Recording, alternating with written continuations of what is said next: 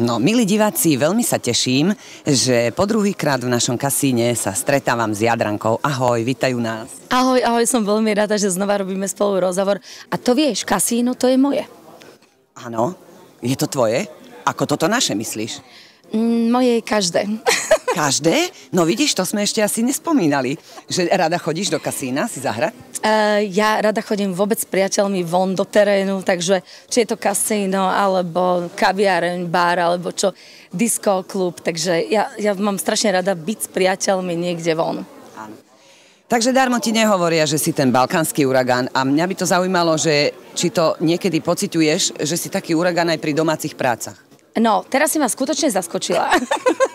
No to som sa dočítala, to som sa dočítala, že a ja sa to ale nemusím ani dočítať, Jadranka, to už za tie roky, čo ťa poznám, tak to, to z teba žiari, že si doslova uragán. Áno, samozrejme, že mám rada, e, ja som totiž to šialený, možno to o mne diváci nevedia, taký perfekcionista, že ja mám rada v tej domácnosti poriadok a tým, že mám aj nejaké to zvieratko, takže to musí byť aj dezinfikované, aj všetko musí byť košer, aby bolo čisto, poriadok a ja aj keď to není dobre, tak to, tak to musím napraviť. No proste je to určitý druh choroby, ktorú som zdedila po mojej e, mamine a starej mame. Takže je to niekedy až na nervy, až je z toho potom človek nešťastný. Ale e, priznám sa, že v poslednej dobe som mala nejako, nejaký úbytok síl, uragánu nejako ubývajú síly. A čože, prečo? Neviem, neviem nejako, nejako som sa necítila dvakrát e, dobre, tak e, som e, si veľmi, veľmi som si oblúbila jednu slečnu, ktorá mi chodí upratovať. To wow, je, to je super. Vieš čo, to je, nie, to je k nezaplateniu, to sú Vianoce. Tak to ti verím, to ti verím. Ešte také zlaté tie baby mladé, že skutočne majú ten zmysel pre ten poriadok, taký, aký ho mám ja. Tak ako to si normálne vychutnávam. Takže cítiš sa ako v siedmom nebi? No ja sa cítim, ako keby som bola princezna, keď niekto niečo urobí, aj to, čo teda prináleží, aby som spravila ja. Ja viem, že mnohí interpreti nemajú radi otázku, že čo máte nové v tom vašom hudobnom živote. Ale tak myslím si, že ak je niečo nové, tak povieš. Keď nie, tak povieš nie. Môžem sa ťa to opýtať. Môže sa ma spýtať čokoľvek. ja uh, mám takú staronovú, ale veľmi mi uh, dodáva energiu tú malú slečnú 12-ročnú Adrianku Habrdovú. A to je tak neuveriteľný talent. Uh, nechcela som, aby išla zatiaľ do tých talentových súťaží, pretože to dieťa má 12 rokov a nechcem, aby ju jednak odradili a vlastne ten showbiznis je tak strašne tvrdý, tak strašne má um, tie mantinely. Ona sa môže zaťať a povie, že už v živote spievať nebude. Takže pre mňa je nádherné, že jej môžem len tak po kvapkách niečo dávať. Možno, že na budúci rok pôjde, alebo na ďalší. Ale zatiaľ podľa mňa nech si vychutná tú pubertu, ktorá je geniálna. My ju máme napríklad teraz. U nás bola aj predčasne, aj ešte stále to, to, keď to trvá, tak to trvá.